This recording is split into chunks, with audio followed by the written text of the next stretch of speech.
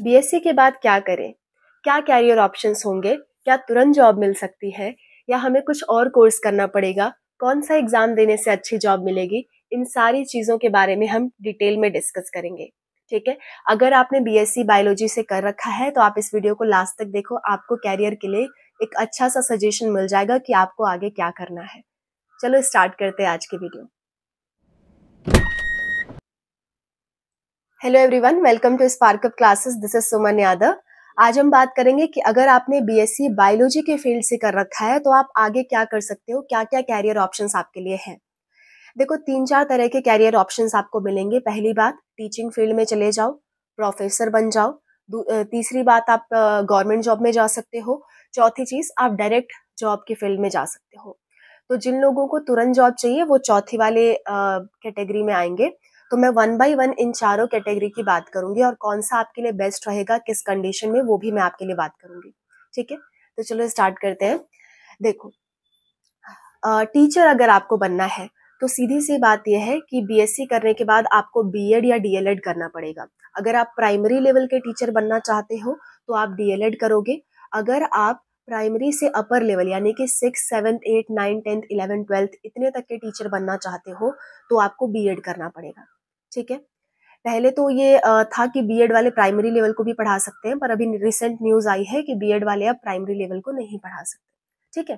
तो अगर आपको प्राइमरी वन से लेकर के फिफ्थ क्लास तक के बच्चों को पढ़ाना है तो आप डीएलएड करोगे अदरवाइज़ आप बीएड करोगे।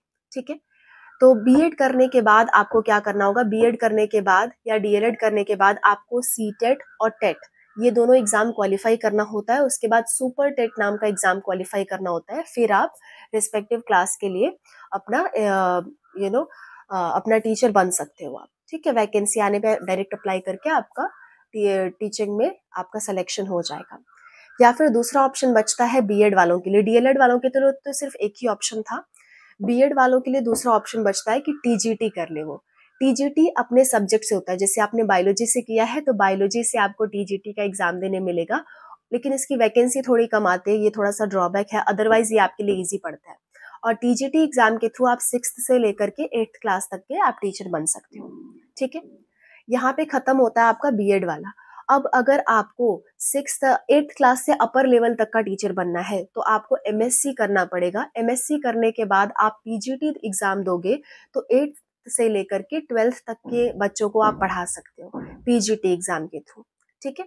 तो ये हो गया टीचर वाला फ़ील्ड सेकेंड बात करते हैं प्रोफेसर अगर आप प्रोफेसर बनना चाहते हो प्रोफेसर मतलब जो डिग्री कॉलेज वगैरह में पढ़ाते हैं, अगर आप प्रोफेसर बनना चाहते हो तो आपको बीएससी के बाद एमएससी करना पड़ेगा। एमएससी करने के बाद एक नेट का एग्ज़ाम होता है C S I R NET ठीक है? आपके लिए C S I R NET होगा, क्योंकि आप बायोलॉजी से हो और बाकी लोगों के लिए यूजीसी नेट होता है जो साइंस फ़ील्ड से नहीं होते। तो आप C S I R NET पे फोकस करोगे, ठीक है? तो C S I R NET exam देने के बाद आप असिस्टेंट प्रोफेसर बन जाते हो डायरेक्टली किसी भी डिग्री कॉलेज में आप असिस्टेंट प्रोफेसर के तरह टीचिंग कर सकते हो। सैलरी आपकी फोर्टी थाउज़ेंड अबव रहने वाली है। और आप साथ साथ अपना पीएचडी भी परस्यू कर सकते हो। पीएचडी जब पूरा हो जाएगी, आपकी पाँच साल की पीएचडी होती है पीएचडी हो जाने के बाद आप प्रोफेसर की तरह एक्ट कर सकते हो और वहाँ पे वन लाख तक की आपकी इनकम हो सकती है मंथली ठीक है? तो ये बेनिफिशियल है आपके लिए आपकी आप नेट क्वालिफाई करके असिस्टेंट प्रोफेसर बनो, उसके बाद फिर आप प्रोफेसर बन जाओ पीएचडी करके। तो ये तो बेस्ट है बीएससी करने के बाद अगर आप किसी लाइन में जाना चाहते हो, अगर आपके पास टोटली टाइम है, आपके पास टाइम की बाउंडेशन नहीं है फैमिली का कोई प्रेशर नहीं है तो मेरा सजेशन यही होगा कि आप प्रोफेसर वाली लाइन में जाओ, ठीक है? और अगर आपके पास एवरेज टाइम है ना बहुत कम, ऐसा नहीं कि अर्जेंट में तुरंत ही जॉब चाहिए या फिर बहुत ज़्यादा टाइम है कि पीएचडी तक कर सके तो आप बीच का रास्ता अपना सकते हो टीचर वाला फ़ील्ड में जा सकते हो बीएड वाला जो मैंने बताया, ठीक है? देखो, मेहनत तो सब में करनी पड़ेगी, ऐसा नहीं है कि बिना मेहनत के आपको कोई भी फ़ील्ड मिल जाएगी, मेहनत तो आपको सब फ़ील्ड में करनी है। नेट जे वाले में आपको थोड़ी ज़्यादा मेहनत करनी पड़ती है बाकी में आपको थोड़ी कम करोगे तब भी चल जाएगा। ठीक है? तो आपको ये सब करना पड़ेगा। और तीसरी बात आ जाती है आपकी गवर्नमेंट जॉब की। बहुत सारे गवर्नमेंट जॉब ऐसे हैं जो आपको बीएससी के लेवल पे देते हैं। जैसे कि मान लो यूपीएससी ही आपको करना है। ये तो स्ट्रीम चेंज करने वाली बात हो गई। बहुत लोग अपना स्ट्रीम चेंज करते हैं ना। आर्ट्स वाले सब्जेक्ट पढ़ने लगते हैं गवर्नमेंट जॉब की तैयारी के लिए। जितने भी गवर्नमेंट जॉब है maximum government job art side से होते हैं। पता नहीं क्यों, पर आर्ट्स वाले सब्जेक्ट ही आते हैं, ठीक है? तो आपको यूपीएससी करना है या बैंकिंग जॉब में जाना अगर आपका मैथ ट्वेल्थ में रहा है तो आप इसमें जा सकते हो बैंकिंग के जॉब में जा सकते हो, या फिर आप ड्रग इंस्पेक्टर बन सकते हो, या फिर आप क्वालिटी कंट्रोल ऑफिसर बन सकते हो, ऐसे बहुत सारे गवर्नमेंट जॉब है। रेलवे की जॉब में जा सकते हो फॉरेस्ट डिपार्टमेंट में जा सकते हो। रेलवे की जॉब और जो आपकी ये आई एम सॉरी रेलवे की जॉब और जो आपकी बैंक की जॉब है, ये दोनों जॉब के लिए कई जगह पे आपको मैथ्स माँगता है तो आपको देख के अप्लाई करना पड़ेगा। लेकिन फॉरेस्ट डिपार्टमेंट की जॉब की अगर बात करूँ एस एस की बात करूँ तो ये सारे में बायोलॉजी भी एक्सेप्टेड है टोटली तो आप इसमें जा सकते हो। ठीक है? तो गवर्नमेंट जॉब का एक वास्ट कैटेगरी है, उसको कभी और डिस्कस करेंगे। अगर आपको इसमें, इस बारे में टोटल डिटेल में चाहिए तो आप कमेंट्स में मुझे मेंशन करना, मैं इस पर टोटल डिटेल में वीडियो बना दूँगी।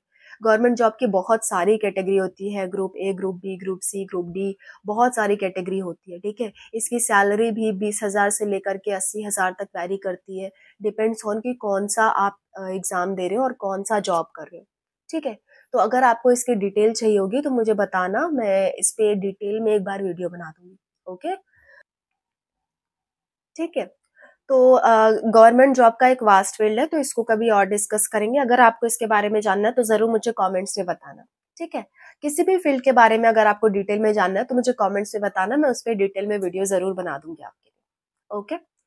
नेक्स्ट चीज़ अगर मैं बात करूँ आपके, तुरंत अगर आपको जॉब चाहिए, क्विक जॉब चाहिए, जल्दी से जल्दी जॉब चाहिए बीएससी के तुरंत बाद आपको जॉब चाहिए, आपके पास टाइम बिल्कुल भी नहीं है तो आप सीधा सीधा क्या कर सकते हो? आप अप्लाई कर सकते हो जॉब के लिए। बहुत सारे फ़ील्ड है जहाँ पे आप अप्लाई कर सकते हो। फॉर एग्ज़ाम्पल मैं खुद भी बाईजूस में टीचर हूँ और मैं भी ग्रेजुएट हूँ।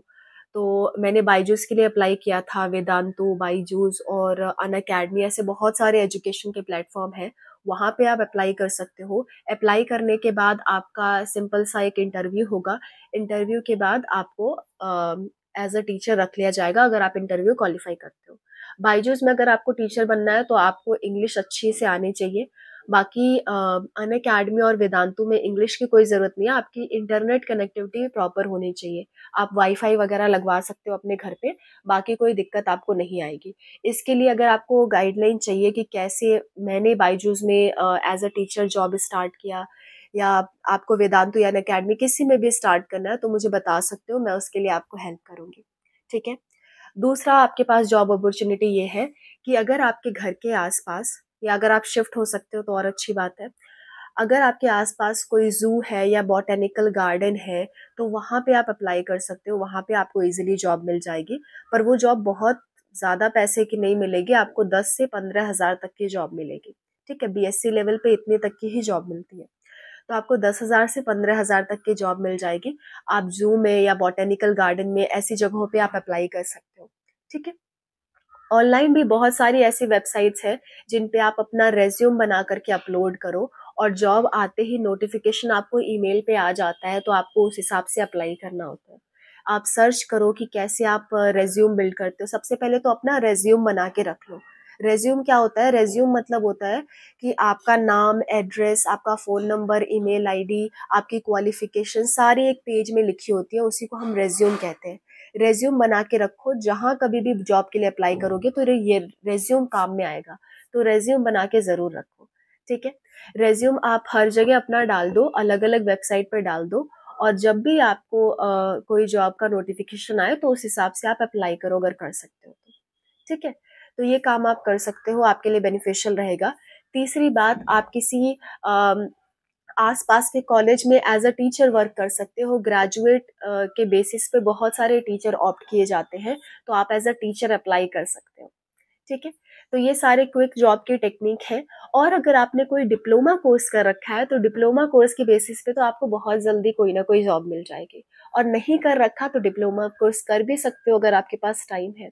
मेरा सजेशन यही रहेगा कि साथ साथ में आप कोई ना कोई कोर्स करते रहना सिर्फ़ जॉब के पीछे मत रहना क्योंकि दस पंद्रह हज़ार से ज़िंदगी तो चलने वाली है नहीं है ना? कुछ एग्ज़ाम आपके लिए बने हैं जैसे कि C U T P G की बात करो आई आई टी जैम की बात करो तो ये कुछ ऐसे एग्ज़ाम्स हैं जो आ, मतलब सी पीजी तो बहुत टफ नहीं पड़ता, लेकिन आई आई जैम थोड़ा टफ पड़ता है, बहुत कम सीट्स है इसकी। लेकिन अगर आप ये एग्ज़ाम देते हो और आप इससे एमएससी करते हो तो आपको स्कॉलरशिप भी प्रोवाइड की जाती है। आई आई टी जैम से अगर एम एस सी करते हो तो आपको आई आई टी कॉलेज से एम एस सी करने मिलता है और दो साल का एम एस सी के बाद आपकी चालीस पचास हज़ार से ऊपर तक की जॉब लगती है ठीक है? तो बहुत अच्छा कोर्स रहता है वो। और आप एम कर रहे हो उस दौरान भी आपको बारह हज़ार से लेकर के तीस हज़ार तक आपको स्कॉलरशिप दी जाती है मंथली ठीक है? तो ये आपके लिए बहुत अच्छा रहेगा अगर आप कर पाओ। और अगर आप आईआईटी में नहीं जा पाते हो आप सी यू टी पीजी से बीएचयू वगैरह में एडमिशन लेते हो तो बीएचयू में एडमिशन लेने पर भी आपको पाँच हज़ार तक की स्कॉलरशिप दी जाती है मंथली बेसिस पे, ठीक है? तो आपका गुजारा हो जाएगा आसानी से और आपका क्वालिफिकेशन जब बढ़ जाएगी वंस आप मास्टर कर लेते हो मास्टर करने के बाद आपके लिए जॉब अपॉर्चुनिटीज़ और बढ़ जाती है। तो मेरा सजेशन ये रहेगा कि अगर आपको अर्जेंट जॉब की ज़रूरत है भी, तब भी उसे पार्ट टाइम में करना फुल टाइम में मत करना, क्योंकि उतने से आपकी ज़िंदगी नहीं चलेगी। साथ साथ में कोई ना कोई कोर्स करते रहना, ठीक है?